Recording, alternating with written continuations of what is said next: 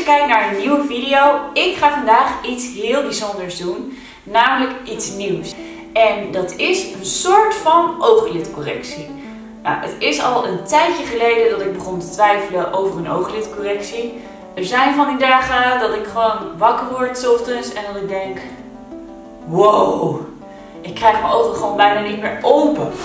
Maar om nou echt zo'n hele correctie te gaan doen met een operatie, een stukje laten wegsnijden, vond ik toch best wel eng en daar heb ik echt wel heel erg lang over zitten twijfelen. Toen uh, werd, werd, ik ineens geattendeerd op een nieuwe soort behandeling en dat heet Plexer-behandeling. Met een Plexer-behandeling gaan ze een soort wondjes creëren bovenop je oogleden. Daardoor krijg je een nieuw stukje huid. En dat stukje huid dat gaat ervoor zorgen dat je huid dus strakker is daar. Dus bij deze ga ik jullie meenemen naar Babak en ga ik laten zien hoe deze behandeling in zijn werk gaat. Lijkt mij wel echt super interessant om ook gedurende de hele week te laten zien aan jullie hoe het heelt. En ja, hoe het eigenlijk uh, uitpakt. En met voor- en na-foto's. Dus ik ga nu even een uh, voorblik maken. Een voor uh, videootje. En daarna een na-video. Oké, okay, behind the scenes. Bart zet de camera even klaar.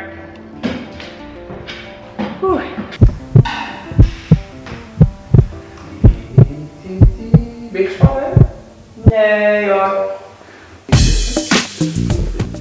Ja, ik heb tot nu toe met Plexer Action echt helemaal resultaten. Boven, onder, kaaklijnen, littekens, acne heel veel.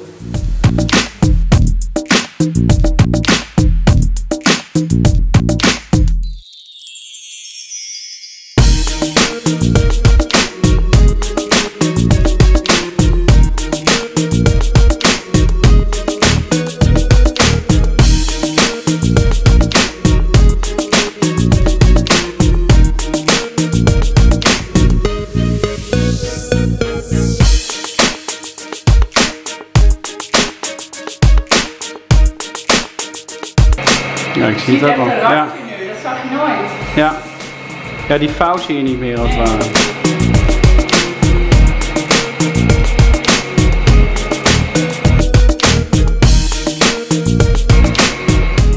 Nou, je kan fysiek worden.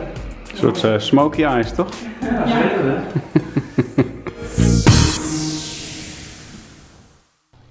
Nou, het is nu avond en het brandt als een malle. En uh, ik ga straks slapen en dan ben ik heel benieuwd hoe het er morgen uitziet. Oké, de zwelling is nu op zijn aller, allerergst. Dag 2. Het is echt... Ik heb maar wat crème op gedaan, maar ik durf eigenlijk hier al geen eens crème op te doen. En het trekt echt als een malle. Gisteren was echt zo erg. Toen kwam iemand de bank ophalen en ik moest mijn dochter naar turnen brengen en van school afhalen. En ik heb alles met een zonnebril opgedaan. Ik was zelfs nog fanatiek gewoon gaan fietsen. En ik denk dat het echt geen goed idee was achteraf. Dat daardoor gewoon vochtig werd aan de bovenkant. En nu is het daardoor helemaal echt een hele harde korst geworden. Dus mijn advies is, um, zorg ervoor dat je niks hoeft te doen de komende dagen daarna. Ook al heb je niet echt pijn. Dan nog is het gewoon echt beter om gewoon lekker rustig aan te doen. Want ja, bij mij werkt het zo. Als ik actief ben, dan krijg ik gewoon vocht bij mijn ogen, blijkbaar. En dat gaat allemaal hard worden. En dan kan je dus je ogen bijna niet meer bewegen. Zoals vandaag. Nou, het is inmiddels donderdag. Ik durf gewoon echt niet over straat eigenlijk. En ik ga nu met een hele grote zonnebril over straat. En het trekt heel erg. De korsten zijn echt heel erg. En um, ja, de zwelling is wel afgenomen, dat wel. Dus dat is wel één voordeel.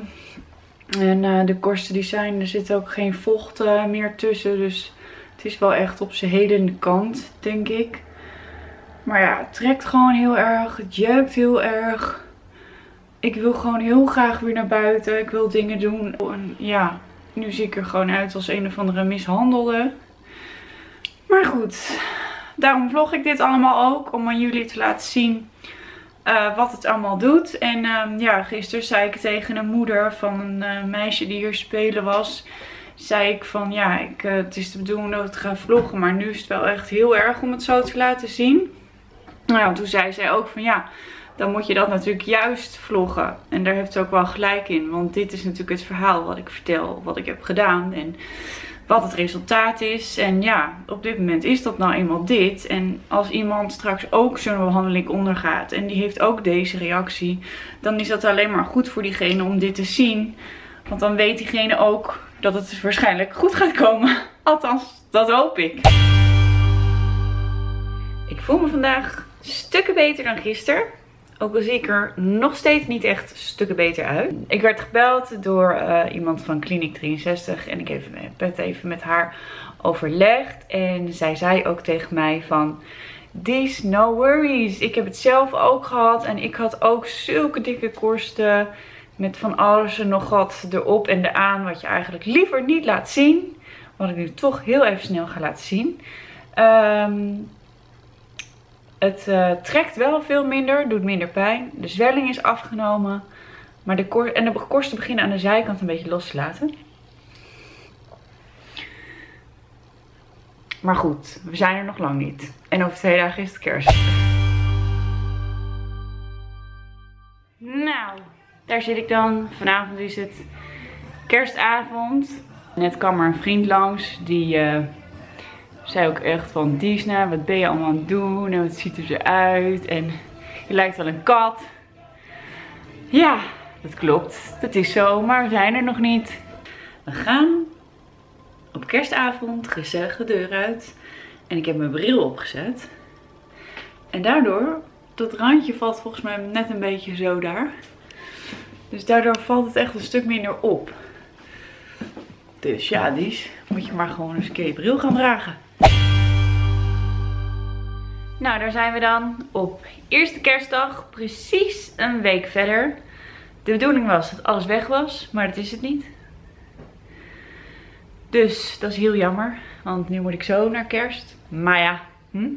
ik zet in ieder geval mijn bril op. En ik moet maar zo denken, ik heb het ervoor over, want ik zie al hoe onwijs mooi het resultaat is. En uh, dat ga ik straks ook aan jullie laten zien, als alles eraf is. En nu gaan we lekker kerst vieren met de familie. Over twee dagen moet ik wel echt werken op een feest. Dus dan hoop ik wel echt dat het weg is. Nou ja, zoals je ziet, het is uh, nog een klein stukje wat er af moet. En ik baal echt enorm dat het er vandaag nog niet is afgevallen. Want uh, ik moet vanavond echt werken. Dus ik moet naar een heel groot feest toe. En dan moet ik allemaal mensen onder ogen komen. Maar goed, ik zet mijn bril op en uh, ik zie het wel. Misschien komt het er nog af. Je ziet wel echt dat het echt heel mooi wordt. Dus ik ben er wel heel super blij mee hoor. Maar het is wel echt, uh, ik vind die herstelperiode echt uh, heel vermoeiend. Echt heel vermoeiend. Nou, ik moet straks werken. En het valt me alles mee. Want in de loop van de dag zijn er toch nog een paar stukjes een beetje afgevallen. En ik heb hier even een beetje zalf op gedaan. Ik moet nog... Uh, dat moet ik straks nog even een beetje weghalen. Maar dan uh, zet ik mijn bril op en dan uh, ziet niemand wat van, denk ik. Hoop ik. Nou, daar ben ik dan op dag 10. En gisteren, of eigenlijk vannacht of vanochtend, toen ik wakker werd, was zo'n beetje alle korstjes eraf. Er zit nog een beetje korstjes. Zoals je hier ziet. Dit zal er nogal af gaan vallen. Een beetje schilfertjes. En uh, ja, ik kom nu net onder de douche vandaan. Dus het is een beetje rood natuurlijk. Maar dat uh, schijnt nog wel een maandje of zo te kunnen aanhouden. Maar ik ben echt zo blij. Het ziet er zo mooi uit. En ik ga nu even met de andere camera een nafoto maken.